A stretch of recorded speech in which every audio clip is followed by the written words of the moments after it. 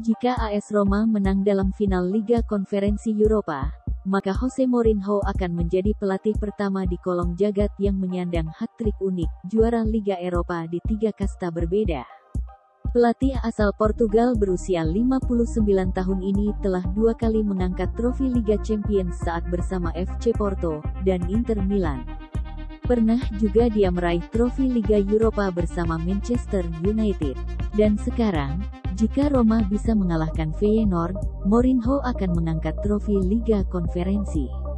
Akan jadi pelatih pertama yang melakukan hat-trick trofi beda kasta ini.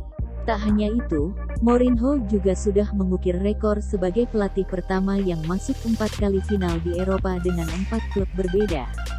Dia melakukannya bersama Porto, UEFA Cup dan Champions League, Inter Champions League, Men UTD, Europa League dan sekarang bersama Roma, Europa Conference League.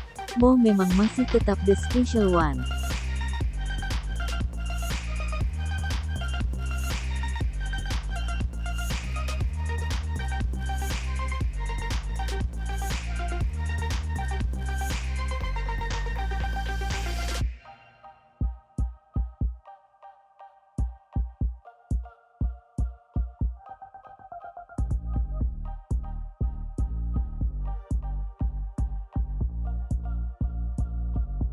Terima kasih sudah nonton.